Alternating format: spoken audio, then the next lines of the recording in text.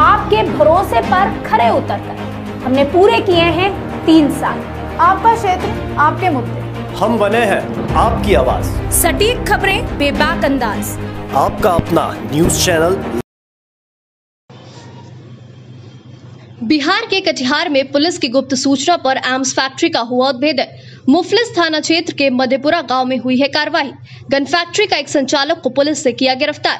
गिरफ़्तार शख्स के घर से निर्मित तीन पिस्टल, एक रिवॉल्वर दो देशी पिस्तौल समेत कई अर्धनिर्मित हथियार, बीस ज़िंदा कारतूस की हुई बरामदगी एसपी जितेंद्र कुमार ने कहा, गिरफ़्तार गन फैक्ट्री के संचालक से पूछताछ की जा रही है। हथियारों को वहाँ कहाँ कहाँ सप्लाई किया गया? सप्लाई के चिन्हित स्थलों पर छापेमारी की जा रही है। जल्दी उद्भेदन किया जाएगा।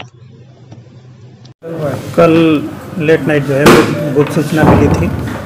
उस गुप्त सूचना के आधार पर जो है छापामारी की गई। उसमें जो मधेपुरा में एक जगह है जहाँ की अवैध हथियार जो है भारी मात्रा में जो है बरामद हुआ है।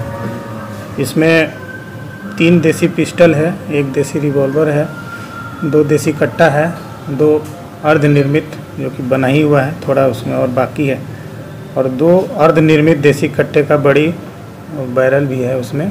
गोली भी है, बीस जो है ज़िंदा कारतूस है। सेवन पॉइंट सिक्स फाइव का उसके बाद पॉइंट थ्री वन फाइव का भी दो है।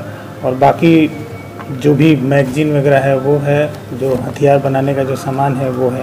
वो सब बरामद हुआ है।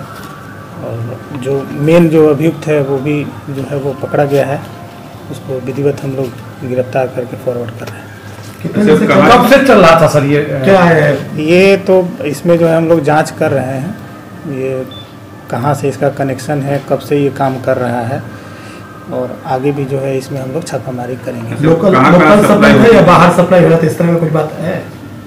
अभी सप्लाई के एंगल पर जो है हम लोग बात इससे पूछताछ किए थे तो कुछ जगहों पर जो है ये बताया कुछ कुछ तो उस वो जो है हम लोग करेंगे छापामारी उसके बाद आपको हम लोग बताएँगे।